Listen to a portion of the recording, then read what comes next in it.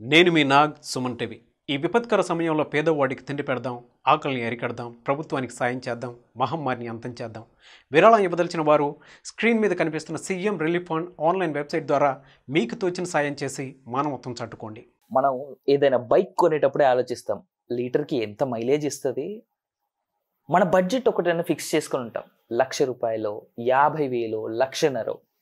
ఆ బడ్జెట్లోనే మనం కొనుక్కుంటాం. అలాంటిది మనల్ని కొన్ని వందల వేల కిలోమీటర్లు మనల్ని సేఫ్గా తీసుకెళ్తూ ఆ ట్రాక్ మీద అలా కొండల్లోంచి గుహల్లోంచి అడవుల్లోంచి అలా ప్రయాణం చేస్తూ మనల్ని సేఫ్గా మన గమ్యస్థానాలకు చేరుస్తున్నటువంటి ఒక ట్రైన్ యొక్క మైలేజ్ ఎంత ఉంటుంది I'm talking about only diesel trains ఇక్కడ. డీజిల్ ట్రైన్ మన ఇండియాకి ఎప్పుడు వచ్చింది దాని ప్రైస్ ఎంత?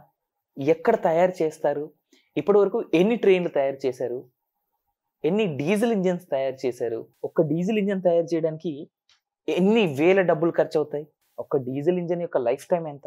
ప్రపంచంలోనే ఎక్కువ రైల్వే ఎంప్లాయీస్ వర్క్ చేస్తున్నటువంటి కంట్రీ చైనా. ఆ తర్వాత సెకండ్ ప్లేస్లో రైల్వేస్ ద్వారా ఎక్కువ మందికి ఉపాధి కల్పిస్తున్నటువంటి కంట్రీ మన country. We're proud to say that that is our India తర్వాత ప్రపంచంలోనే బిగ్గెస్ట్ రైల్వే లైన్స్ ఉన్నటువంటి కంట్రీస్లో ఫోర్త్ బిగ్గెస్ట్ నెట్వర్క్ మన ఇండియాదే వరల్డ్లోనే fourth largest or fourth biggest railway network మన ఇండియాది మన తర్వాత కెనడా జర్మనీ ఆస్ట్రేలియా బ్రెజిల్ ఉన్నాయి. అంత పెద్ద రైల్వే నెట్వర్క్ని మెయింటైన్ చేస్తున్నటువంటి మన దేశంలో ఫస్ట్ రైల్వే డీజిల్ ఇంజిన్ ఎప్పుడు వచ్చింది తెలుసా?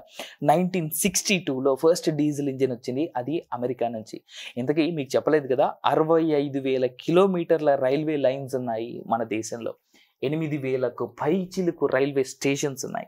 పంతొమ్మిది వేల రైళ్ళు నడుస్తాయి ప్రతిరోజు. దాంట్లో పన్నెండు వేల రైళ్ళు ప్యాసింజర్స్ కోసం నడిస్తే ఏడు వేల రైళ్ళు గూడ్స్ కోసం నడుస్తాయి. నైన్టీన్ సిక్స్టీ టూలో వచ్చినటువంటి ఫస్ట్ డీజిల్ ఇంజన్ దాన్ని చూసిన తర్వాత ఆ యొక్క డీజిల్ ఇంజన్ని బేస్ చేసుకొని నైన్టీన్ సిక్స్టీ ఫోర్లో వారణాసిలో మ్యానుఫ్యాక్చరింగ్ అనేది మొదలైంది డీజిల్ ఇంజన్స్కి. రెండు వేల ఏడు వందల డీజిల్ ఇంజన్స్ ఈ రోజు వరకు ఇండియాలో తయారయ్యాయి. ఆ డీజిల్ ఇంజన్ యొక్క వెయిట్ ఎంతో తెలుసా? జనరల్గా ఒక కార్కి ఒక టన్ను రెండు టన్నులు వన్ అండ్ హాఫ్ టన్ అనుకుంటాం. ఒక డీజిల్ ఇంజన్ వెయిట్ ఎంత అంటే లక్ష పన్నెండు వేల ఎనిమిది వందల కిలోలు. అదే దాని top speed one hundred and twenty kilometres per hour passenger ట్రైన్లకి ఉండేటువంటి డీజిల్ ఇంజిన్ యొక్క horse power four thousand five hundred kilometres per hour ఉంటుంది. అండ్ జనరల్గా మనం మైలేజ్ గురించి కనుక మాట్లాడుకున్నట్టయితే పర్ లీటర్కి ఒక బైక్ లేదా ఒక కార్ ఎన్ని కిలోమీటర్స్ తిరుగుతుంది అనేటువంటిది మనం మాట్లాడుకుంటాం. కానీ డీజిల్ ఇంజిన్ రైల్వేస్కి వచ్చేటప్పుడు మాత్రం పర్ లీటర్ ఎన్ని లీటర్లు డీజిల్ తాగుతుంది అని మనం మాట్లాడుకోవాలి. నార్మల్ స్పీడ్లో అయితే కనుక ఒక కిలోమీటర్కి నాలుగు నుంచి ఐదు లీటర్ల డీజిల్ తాగుతుంది ఒక డీజిల్ ఇంజిన్ బట్ టాప్ స్పీడ్లో అయితే తొమ్మిది నుంచి పదకొండు లీటర్ల డీజిల్ తాగుతుంది ఆ యొక్క డీజిల్ ఇంజిన్. లక్ష పన్నెండు వేల ఎనిమిది వందల కేజీలు ఉన్నటువంటి ఆ డీజిల్ ఇంజిన్ ఒక్కటే కాకుండా తనతో పాటు మిగిలిన compartments plus passengers load plus ఏదైనా గూడ్స్ ఉంటే దాని గూడ్స్ లోడ్ అన్నీ కలుపుకొని తనని తాను మోసుకుంటూ ఇంకొకరిని మోసుకెళ్ళాలి కాబట్టి కిలోమీటర్కి నాలుగు నుంచి ఐదు లీటర్ల డీజిల్ నార్మల్ స్పీడ్లో తొమ్మిది నుంచి పదకొండు లీటర్ల డీజిల్ టాప్ స్పీడ్లో కన్జమ్ చేస్తూ ఉంటుంది ఆ యొక్క డీజిల్ ఇంజిన్. అండ్ దీని సర్వీసింగ్ వచ్చేసి ప్రతి మూడు వేల కిలోమీటర్లకు ఒకసారి దీన్ని సర్వీస్ చేయాలి. ఎవ్రీ త్రీ థౌజండ్ కిలోమీటర్స్ కనుక కరెక్ట్ టైంకి సర్వీస్ చేసినట్టయితే ఈ యొక్క డీజిల్ ఇంజిన్ లైఫ్ టైం ముప్పై ఐదు సంవత్సరాలు. ముప్పై ఐదు సంవత్సరాల తర్వాత దాన్ని మళ్ళీ రీ సర్వీస్ చేస్తూనే ఉంటారు మన వాళ్ళు వాడుతూనే ఉంటారు. ఇన్ని డీటెయిల్స్ చెప్పిన నేను దాని యొక్క ప్రైస్ చెప్పలేదు కదా. ఒక్క డీజిల్ ఇంజిన్ తయారు చేయడానికి పన్నెండు నుంచి పదిహేను కోట్ల మధ్యలో డబ్బు ఖర్చు అవుతూ ఉంటుంది.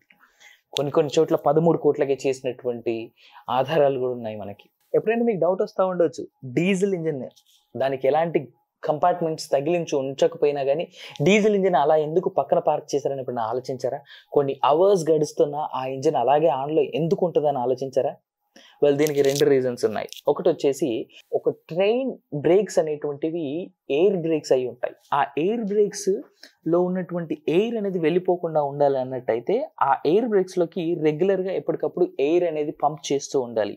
ఒకవేళ ఆ ఇంజిన్ని కనుక ఆఫ్ చేసినట్టయితే ఆ పంపింగ్ ఎయిర్ పంపింగ్ అనేది ఆగిపోతుంది. దానివల్ల ఆ ట్రైన్ ముందుకి కానీ లేదా వెనక్కి కానీ కదిలి ఏదైనా ప్రమాదం జరగడానికి ఛాన్సెస్ ఉంటాయి. దానికోసమే ఆ యొక్క ఇంజిన్స్ని ఆఫ్ చేయబడవు అనమాట సో దానివల్ల ప్రమాదాన్ని అరికట్టేటువంటి ఛాన్సెస్ నైంటీ పర్సెంట్స్ ఉంటాయి. అందుకే ఎంతసేపు అయినా సరే ఆ యొక్క డీజిల్ ఇంజిన్ని ఆఫ్ చేయరు. అండ్ ఇంకో విషయం ఏంటంటే డీజిల్ ఇంజిన్ని ఎప్పుడు ఆఫ్ చేస్తారు అంటే ఆ ఇంజిన్ని సర్వీస్కి తీసుకెళ్ళినా లేదు అంటే ఆ ఇంజిన్ని కంప్లీట్గా ఆ యొక్క కంపార్ట్మెంట్స్ నుంచి డివైడ్ చేసి ఎక్కడైనా పార్క్ చేయాల్సి వచ్చినప్పుడు అంటే ఒక త్రీ ఆర్ ఫోర్ డేస్ వరకు ఈ ఇంజిన్ని ఇంకా వాడరు అని అనుకున్నప్పుడు మాత్రమే ఆ డీజిల్ ఇంజిన్ని అలా పక్కన పెడతా ఉంటారు. మెయిన్ ఎక్కువ ఎక్కడ పక్కన పెడతా ఉంటారంటే సర్వీసింగ్ అప్పుడు మాత్రం డీజిల్ ఇంజిన్ని ఆపేస్తారు. ఎందుకంటే అన్ని ప్రాసెస్లు కంప్లీట్ చేసుకొని ఒక డీజిల్ ఇంజిన్ని మళ్ళీ స్టార్ట్ చేయడానికి twenty to twenty five minutes time పడుతుంది. ఈలోపు కొన్ని వందల లీటర్ల డీజిల్ అనేటువంటిది అక్కడ కన్జ్యూమ్ అయిపోతూ ఉంటుంది కాబట్టి దాన్ని ఆఫ్ చేసి మళ్ళీ ఆన్ చేయడం అనేది జరగదు. ఆన్లో ఉన్నప్పుడు తాగేటువంటి డీజిల్ కంటే ఇంజిన్ స్టార్ట్ చేసేటప్పుడు ఎక్కువ కన్జ్యూమ్ అయ్యేటువంటి డీజిలే ఎక్కువ. రైల్వేలో ఉన్నటువంటి డీజిల్ ఇంజిన్స్ గురించి డీటెయిల్స్ తెలుసుకున్నారు కాబట్టి ఈ వీడియో మీకు నచ్చినట్టయితే please like share comment and subscribe to our channel.